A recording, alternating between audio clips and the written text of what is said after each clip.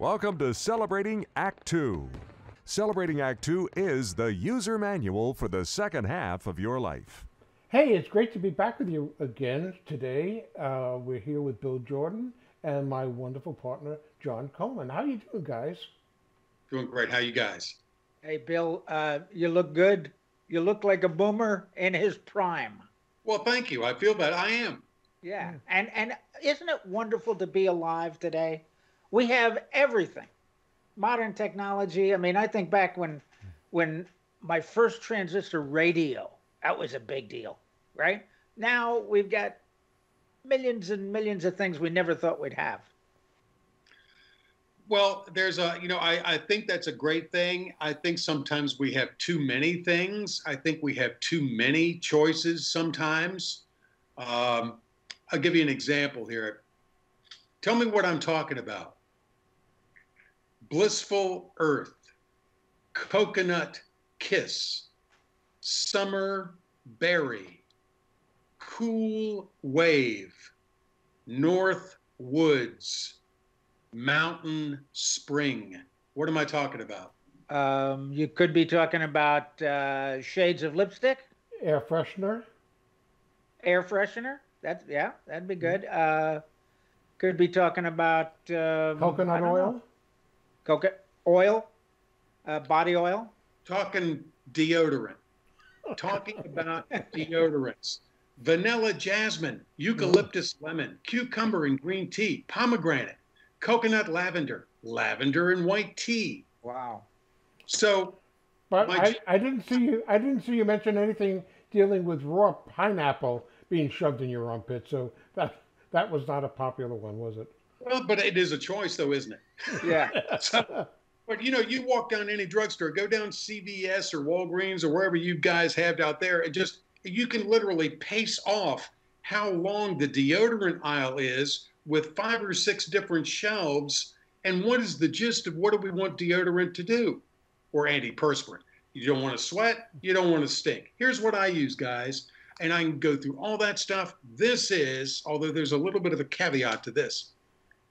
This is my wife's unscented, clear, secret deodorant. Yep. No scent, clear, doesn't stain my shirts, unscented. But then I noticed just now it says Outlast. It's like now they got a new name on here. So it's Outlast Final Exams. This is this this is what you want to put on if you've got a final exam coming up.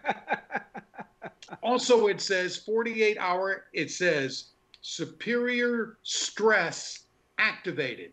Like if you're under a lot of stress this will kick in even more. What do we want it to do?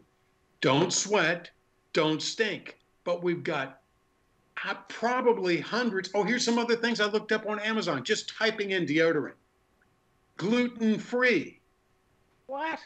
vegan deodorant, cruelty free. I figure if I'm not stinking, I ain't being cruel. Paraben free, aluminum free, all the choices in the world. Think of toothpaste. How many diff- there's whitening, there's extra whitening, there's extra fluoride, there's this, there's tartar control, there's what do you want toothbrush? What do you want toothpaste to do? Clean my teeth, leave my breath and mouth feeling fresh and vibrant and alive, right? Sodas. How long is the soda aisle in your grocery store? The beer, the beer aisle alone is like, guys, you got too many choices.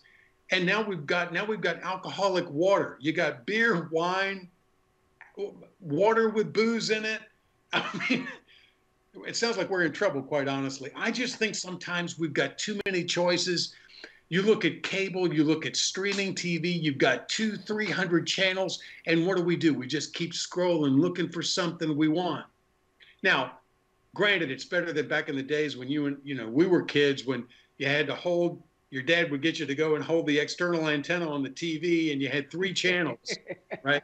You were the you were the antenna Yeah. better than that. But don't you think sometimes that we just we've got too many choices? When you think of how many choices from the time you get up in the morning until the time you go to bed, think about it's impossible to count, I think, the number of choices decisions that we make in our lives. But Bill, but Bill, um, you're not suggesting that we go back to just the basics like flint and kindling. well, you? I think there's a sweet spot somewhere along the line. so think about this. All right, so with the scents, with the deodorants, okay, do I want to smell like a tropical breeze if the uh, skin cream that all the you know people say I've got to have to keep my skin young, if that has a different scent, and if my my shower soap has a difference, how many different scents can I carry around on me before like I either uh, implode or combust? I just I don't know. I just I'm I'm grasping onto this whole notion, and it's one of my embrace the boom principles of keep it simple.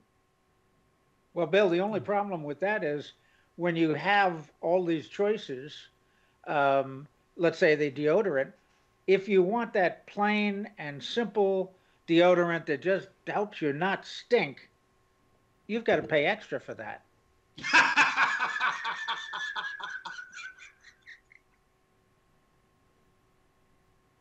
you probably do.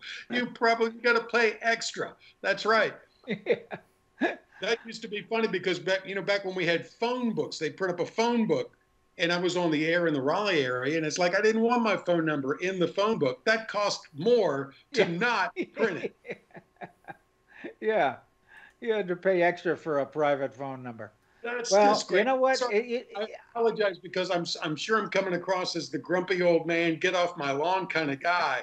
but it's like, why do why do we have all of these choices? Just right. streamline it. Just you know, there's an there's an argument and has been made for a number of years that successful people. I never saw this in business, but I was tempted to do it. You just wear the same thing every day there's, that eliminates that standing in the closet in the morning going what pants and what shirt what goes with this? What you know it's just you just you have that uniform and you just and you get yeah. home and it, you wash it every other day or whatever and you just wear the same thing like the uh, like the guy on um, tim allen's show tool time. His, tool time. His, uh, his associate i can't remember the character's name but he'll he'd open up the closet and he had the same plaid shirt. He had have 12 of them. Yeah. Al Al, yeah.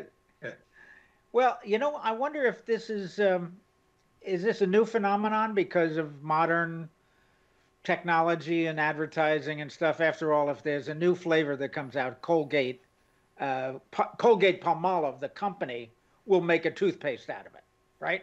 I mean, yeah. they'll be in, they'll just add another toothpaste. Yeah, and I'm not knocking the beer thing. I mean, I've talked to you guys before. I enjoy trying new craft beers, but when I look at the beer aisle, the refrigerated beer, I mean, it's like, I mean, yeah, I want to try something new, but how is anybody really gaining market share when there's 500 brands of beers out there in one store alone? It's, uh, I, you know, it, it's beyond my uh, realm of expertise, but it's just, uh, I, you know, I, I guess I'm being a little hypocritical in some areas. I like choice and in other areas i just don't see the need for it. But that's just me that's just being the grumpy old man and we could change the show here when i'm on to just you know three grumpy old men if you want.